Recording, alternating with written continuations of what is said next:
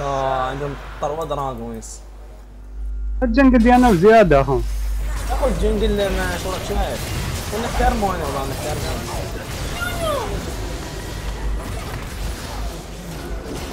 هم راح تقتلكم قاعدين. شيت.